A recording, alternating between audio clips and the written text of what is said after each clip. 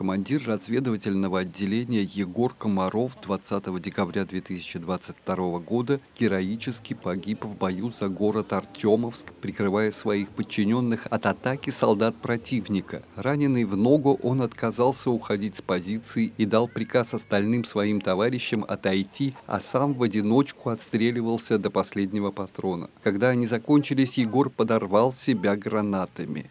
Память о нем на Парковой улице на стене дома 20, где жил герой, по инициативе его родных и близких и при поддержке администрации городского округа установили мемориальную доску. Егор рисковал жизнью ради нас всех, ради мира на земле, ради того, чтобы мы с вами имели возможность находиться здесь и сейчас. Нет более великой жертвы, чем отдать жизнь за свою родину.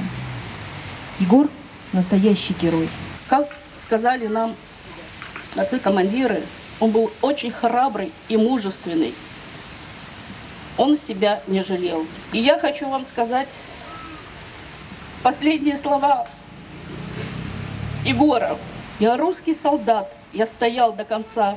Мечта стать военным у него была уже в школе.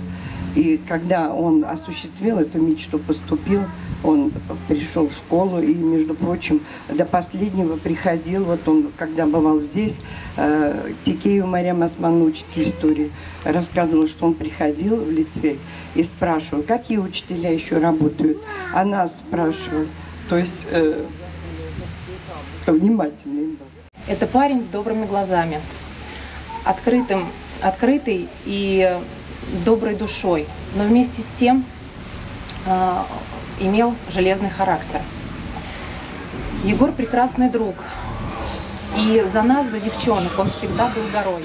На торжественном мероприятии выступила мама Егора Комарова. Всем большое спасибо. России надо победить.